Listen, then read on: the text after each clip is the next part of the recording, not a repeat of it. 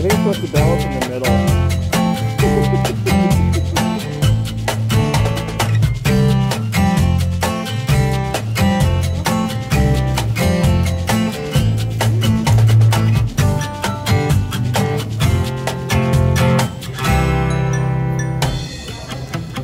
middle.